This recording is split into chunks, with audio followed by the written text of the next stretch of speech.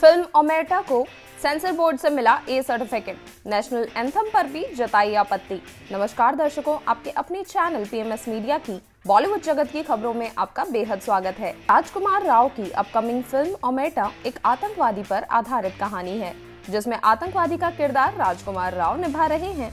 लेकिन इस फ़िल्म से जुड़ी बड़ी खबर ये है कि हंसल मेहता की इस फ़िल्म से नेशनल एंथम को हटा दिया है। राजकुमार राव की फ़िल्म ओमेटा को सेंसर बोर्ड के पास भेजा गया था, लेकिन बोर्ड ने फ़िल्म देखते वक्त एक सीन पर कड़ी आपत्ति जता दी। सेंसर बोर्ड ने फ़िल्म से नेशनल एंथम को हटा दिया है और साथ ही बोर्ड ने फ़िल्म को ए सर्टिफिकेट के साथ पास किया है।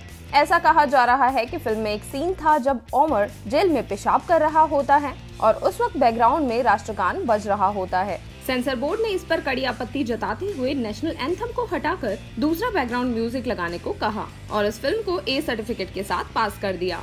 सिर्फ़ यही नहीं, इस फ़िल्म के रिलीज़ डेट को भी अब बदल दिया गया है। नई रिलीज़ डेट आने के बाद ये फ़िल्म अब चार मई को रिलीज़ होने वाली है। हम दर्शकों को ये बता दें कि ये film global terrorist Ahmed Omar Saeed Sheikh पर आधारित कहानी है। ये फ़िल्म दुनिया के कई आतंकवादी घटनाओं को दिखाती है।